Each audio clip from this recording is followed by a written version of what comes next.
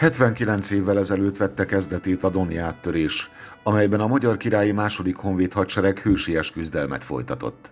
A harcban elesett katonák tiszteletére három napon át menetelnek a Kratokvil Károly Honvéd Középiskola és Kollégiumból, valamint a Magyar Tartalékosok Szövetsége hagyományőrző tagozatától érkezettek a 22. Doni Hősök emléktúra keretében. A résztvevők a megemlékezés első napján Hajdúhatász főterére meneteltek. Tekintve, hogy a, a menetszázad állománya 95%-ában a Katopil Károly és Honvéd Középiskola diákságából, úgymond kadétállományából vagy növendéki állományából áll össze, függetlenül attól, hogy növendékként vesznek részt, vagy hagyományőrzőként vesznek részt így nagyon-nagyon fontosnak gondoljuk azt a pedagógiai programunkon belül, hogy ezek a gyerekek egyrészt egy valós fizikai teljesítményen keresztül átélhessék azokat a megpróbáltatásokat, amiket a második magyar hadsereg katonái, munkaszolgálatosai, munkaszolgálatosai megéltek 79 évvel ezelőtt és azt gondolom, hogy ezáltal, hogy interaktívá tesszük ezt az egészet, az a történelmi korszak is sokkal emészthetőbb ezeknek a fiataloknak, mint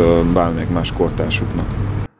Az emléktúra útvonala Hajdúhatházon, Hajdúbüszörményen, Hajdúdorogon és Hajdunánáson halad keresztül, megemlékezve a települések áldozatainak emléke előtt.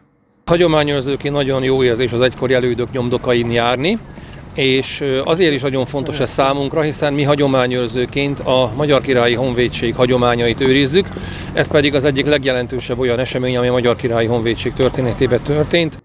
Az emléktúra első napjának végállomása Hajdúhatász főtere volt, ahol Fekete András őrnagy, valamint Sáfordi Nénes polgármester beszédét követően koszorúzással egybekötött megemlékezést tartottak.